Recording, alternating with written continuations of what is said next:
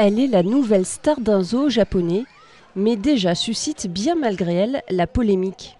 Cette petite guenon, née au parc animalier du mont Takasaki, s'est vue décerner son prénom après vote du public. Résultat, Charlotte est arrivée en tête par 59 voix sur 850. Un choix qui ne doit rien au hasard. Les suffrages plébiscitant Charlotte ont tous afflué après l'annonce du couple royal britannique de prénommer ainsi leur petite fille. L'admiration pour William et Kate, très populaire au Japon pour la sympathie qu'ils dégagent, est bien réelle, mais cette marque d'attention a choqué nombre de Japonais.